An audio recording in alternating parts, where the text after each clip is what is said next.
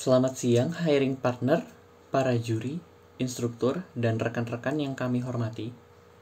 Kami dari tim Go Grocery akan mempresentasikan aplikasi yang telah kami buat. Kenapa aplikasi ini kami buat?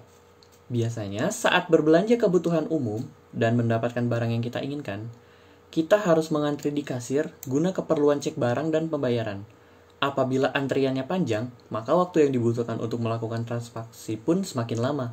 Belum lagi, setiap antrian akan mengecek harga barang satu persatu. Dengan didasari latar belakang tersebut, maka kita buatlah Go Grocery.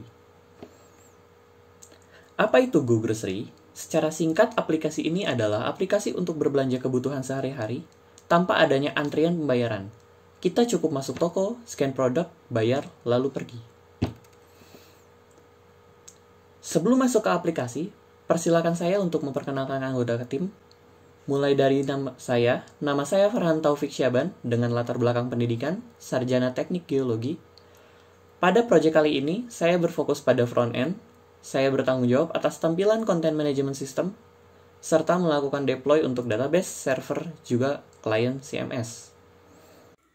Halo semuanya, perkenalkan nama saya adalah Maulidia Intan. Background saya adalah Information System.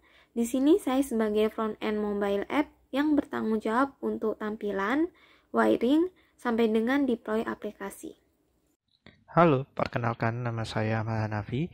Background pendidikan saya adalah SMA.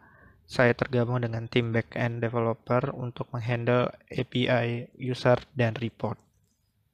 Kenalkan, nama saya M. Rizal Arfandi. Saya berlatar belakang teknik sipil.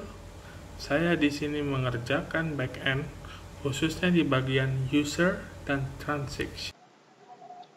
Perkenalkan, nama saya Reza. Latar belakang saya manajemen ekonomi.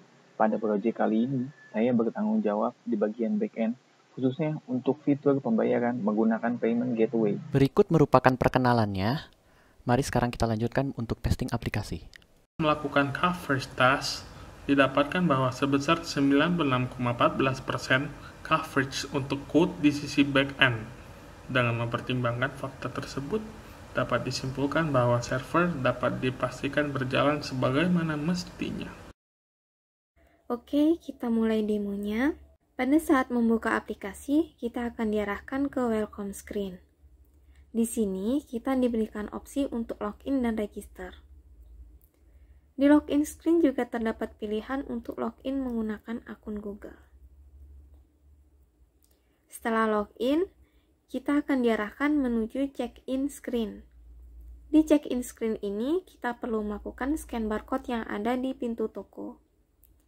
Scan barcode ini berfungsi untuk menginformasikan ke server apabila kita sedang berada di toko dan akan melakukan transaksi. Setelah masuk ke dalam home screen, kita juga dapat melihat list transaksi yang sudah pernah kita lakukan sebelumnya dan transaksi mana saja yang sudah kita selesaikan proses pembayarannya. Selain itu, ada juga menu logout yang berarti keluar dari toko dan akun dan ada juga menu checkout yang berarti keluar dari toko tanpa melakukan transaksi. Untuk proses belanja, kita cukup men-scan barcode produk yang otomatis akan masuk ke dalam keranjang belanja di aplikasi. Kita juga dapat merubah kuantiti sesuai dengan kemauan kita. Setelah menambahkan produk ke dalam keranjang, user dapat melakukan pembayaran dengan payment gateway server akan meminta kepada Mitrans untuk membantu proses transaksi. Kemudian, user akan diarahkan ke halaman pembayaran. Setelah itu, akan ditampilkan thank you screen yang berisi total belanja dan opsi untuk melihat data transaksi, detail pembayaran, dan opsi belanja lagi. Apabila pembayaran telah sukses, Mitrans akan menginformasikan kepada server dan server akan secara otomatis mengurangi stok produk, mengubah status transaksi menjadi paid. Pada halaman CMS, terdapat data produk yang ada pada toko. Terdapat dua filter pencarian, yaitu pencarian by ID dan pencarian by name product. Terdapat juga menu add product, di mana kita akan memasukkan data produk baru. Dalam produk detail terdapat dua menu, yaitu menu edit untuk mengganti semua data dari produk tersebut, dan menu delete untuk menghapus produk tersebut dari database. Lalu ada menu create report yang akan memberikan laporan tiap harinya. Pada halaman ini akan terlihat list produk yang berhasil terjual. Namun, karena konsepnya cashless, tentu toko harus melakukan pengecekan manual untuk stok produk di tokonya. Di sini, admin dapat mengupdate stok yang sesuai dengan ada di etalase toko. Terdapat pula selisih stok, maka selisih ini akan masuk ke dalam report sebagai loss dan dapat dilihat pada detail report. Pada detail report sendiri terdapat empat table, yaitu table transaction report untuk transaksi apa saja yang berhasil, lalu ada table produk report untuk melihat perbedaan stok dan antara stok real yang ada di toko dengan yang tercatat di sistem. Lalu ada tabel income and loss. Income berdasarkan berapa total harga barang yang keluar, dan loss adalah total harga barang yang hilang saat dilakukan perhitungan manual. Terakhir, ada menu transaction. Pada halaman ini terdapat histori pembayaran yang berhasil dan apa saja yang dibeli oleh customer. Terdapat juga fitur filter by order ID dan filter by date untuk memudahkan admin melakukan pengecekan terhadap transaksi. Selanjutnya saya akan menjelaskan flow dari aplikasi secara keseluruhan. Pertama, pelanggan toko akan menggunakan aplikasi mobile yang secara otomatis akan melakukan request data dari server. Kemudian, apabila ada kegiatan transaksi, maka klien akan melakukan request payment kepada Mitrans melalui server yang nantinya apabila payment telah dikonfirmasi berhasil oleh Mitrans, Mitrans secara otomatis akan menghubungi server melalui webhooks untuk mengubah status transaksi dan stok produk secara real time. Admin toko dapat menggunakan website CMS yang dihosting dari Amazon S3 untuk berinteraksi dengan server dan database secara langsung.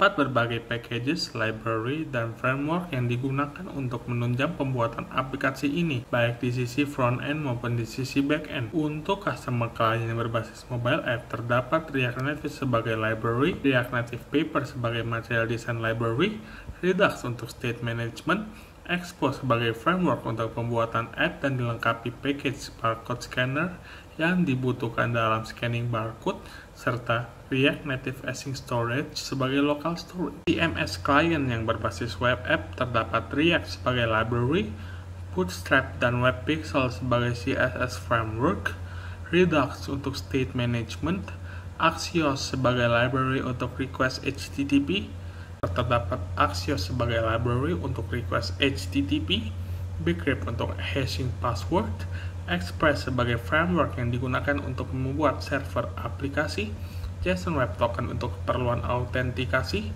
PostgreSQL sebagai sistem manajemen database, SQLite sebagai ORM, JAS dan Supertest untuk keperluan testing, serta AWS RDS untuk deployment database, sedangkan AWS EC2 untuk deployment server. Oke, berikut yang bisa kami sampaikan. Terima kasih atas perhatiannya. Assalamualaikum warahmatullahi wabarakatuh. Selamat siang.